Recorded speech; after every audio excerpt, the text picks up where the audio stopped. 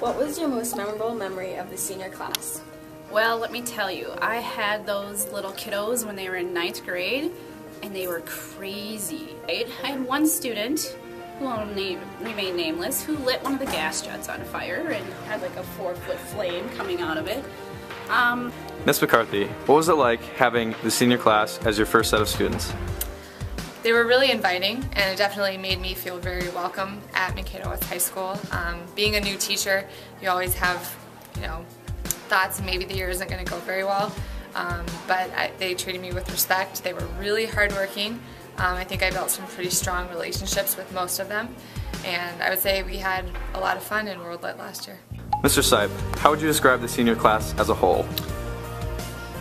Well, realize you're playing, piggybacking off of last year's seniors, so you could could uh, do a lot wrong and still be in pretty good shape. But no, you guys are wonderful. I I had stated several times this has been one of my finest years as an educator, and um, it's all due to this year's senior class. And um, you've been good role models for the younger students. You're intelligent. You're well spoken. You can converse with you which is nice. So you, have just been outstanding. You will be missed come June. So when you think of the senior class, what one word comes to mind?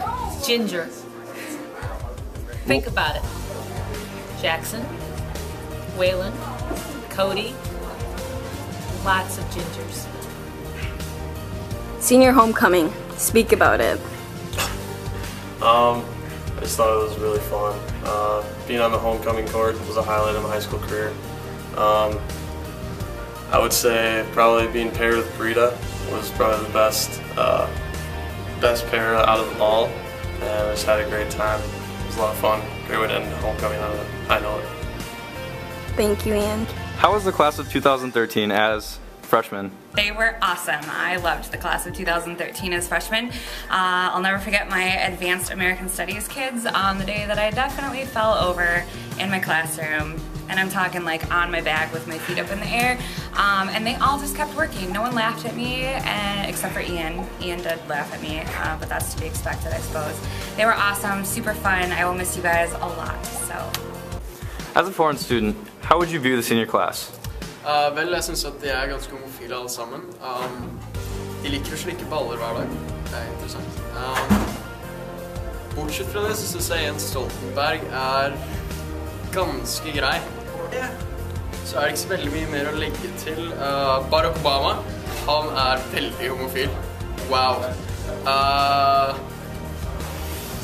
republikanere, demokrat.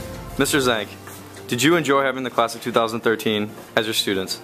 Definitely. Uh, great experience. Um, you know, some of them I've had in class for all four years.